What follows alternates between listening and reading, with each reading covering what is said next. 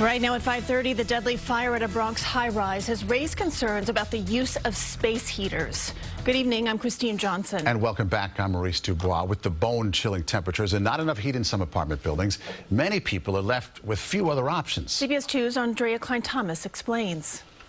The ice box. This is like a freezer box in here.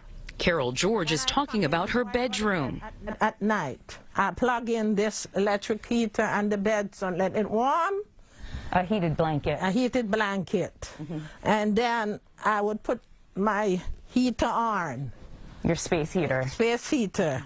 George says her Bronx apartment building turns the radiators on and off sporadically, often forcing her to seek other ways to stay warm. If you can see, I taped them up myself. To keep the draft out, she taped plastic and Red Cross blankets to the window. We are freezing. We are humans. Okay, even the animals get better treatment than some of us that are tenant. George is not alone. In this map, dark red indicates more than 20% of households using supplemental heating in their homes in 2017, with a concentration in northern Manhattan and the Bronx. And unfortunately, in New York City and many other places, tenants need to enforce their own rights. From October 1st to May 31st, when outside temperatures dip, landlords are required to keep the temperatures inside at 68 degrees during the day and 62 degrees at night.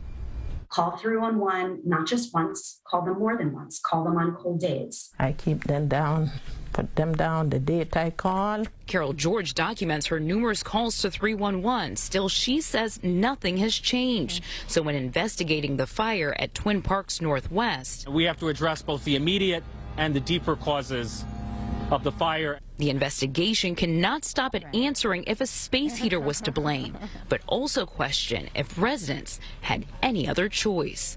In the Melrose section of the Bronx, Aundrea Cline Thomas, CBS 2 News. The city is aware of the complaints at Carol George's apartment complex and has issued management an order to repair, according to its website.